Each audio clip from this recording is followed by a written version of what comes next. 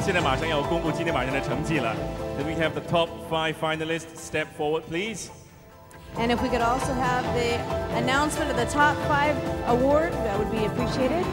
好，现在我们邀请五强站到前面来。好了，成绩也马上交在我手上。好，热辣辣的成绩，迫不及待要看看。 Congratulations to each one of you. Here we go. One of you came representing your country. You're going home the next Miss Tourism Queen International. Fourth runner up for the title of Miss Tourism Queen International 2005, Miss Zambia. 二零零五国际旅游小姐冠军总决赛第五名就是赞比亚的小姐，有请颁奖嘉宾，他们是陈香梅国际合作交流促进会秘书长邢军先生， 乌拉圭东区共和国临时代办古斯塔叶先生。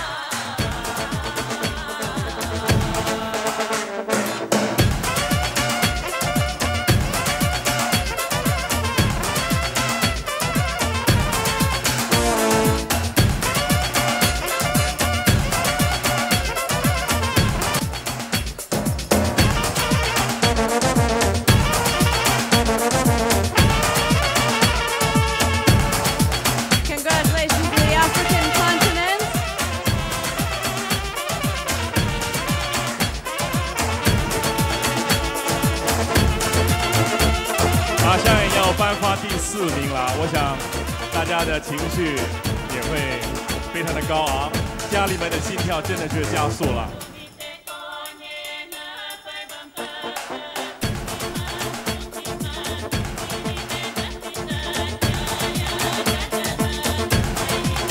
再次的恭喜赞比亚的佳丽。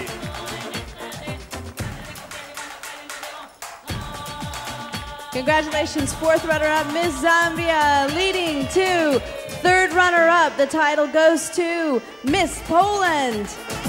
二零零五年国际旅游小姐冠军总决赛第四名是波兰的小姐，有请颁奖嘉宾，世界华商联合总会会长贺新彤先生，还有尼泊尔王国驻华大使纳南德拉潘吉先生。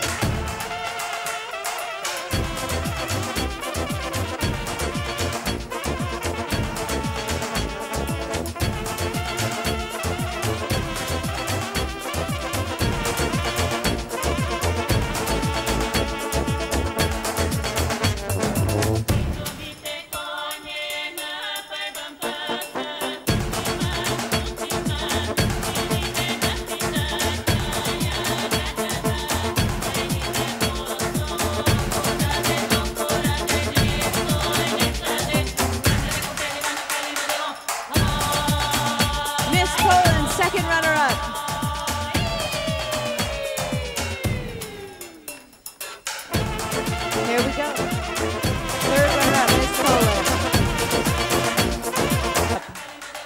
Second runner-up goes to Miss Estonia.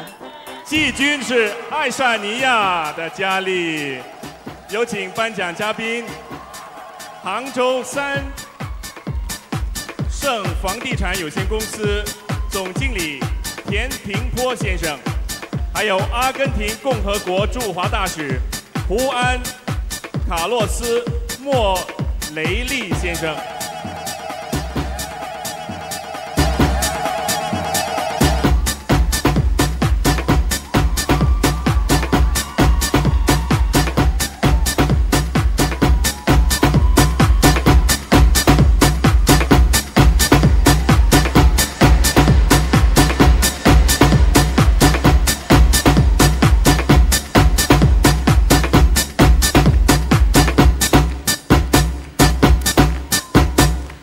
Congratulations, second runner-up, Miss Estonia.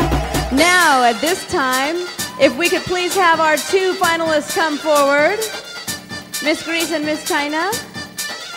All right. Miss Greece and Miss China, please come forward. Here's Thank you， how it 谢谢我们的 works. 颁奖嘉宾，谢谢，谢谢。只剩下两位了啊，到底鹿死谁手呢？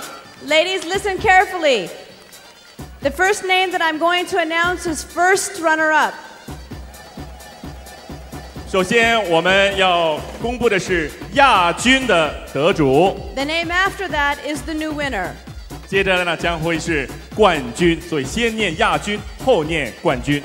In the event that the new Miss Tourism Queen International cannot fulfill her responsibility, the first runner up has the right to take over the title. 如果冠军在任的时候不能实行他的重任的话呢，那么亚军呢将会接替他的职位，成为第十四届国际旅游小姐的冠军。Here we go. First runner up for the title of Miss Tourism Queen International is Miss China, which means Mrs. Greece. 2015 You 国 are 际 the new Miss Tourism Queen International. 亚军是中国小姐，颁奖嘉宾是亚太旅游联合会会长何光业先生和阿尔巴尼共和国驻华大使古伊蒂姆扎尼先生。